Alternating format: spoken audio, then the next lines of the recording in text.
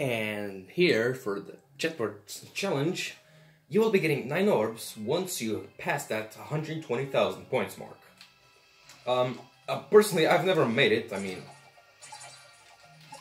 It's said to be pretty easy, but uh, look at me, I still haven't made it. I mean, after what, 7 years of, of playing this game over and over again?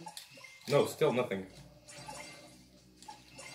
Well, personally, I believe it's my fault because all I do is just mash the buttons at a random order.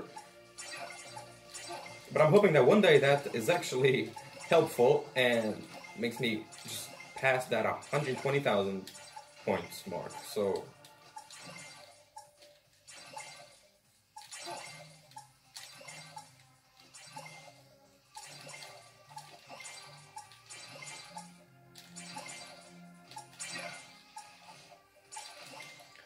Still, if you get that, you'll get 9 orbs. That's freaking awesome.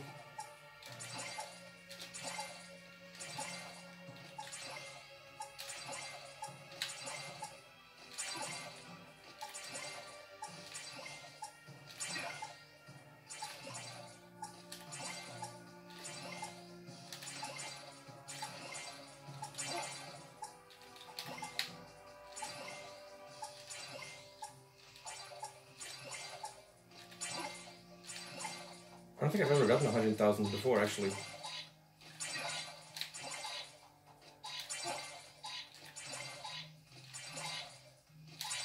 Oh my god, so close, Jesus! Although I think that's my record. 118,000? Come on, let's... Let us see. High scores.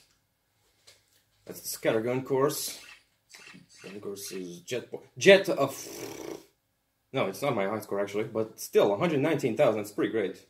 So actually, no, I've gotten 100,000 before actually.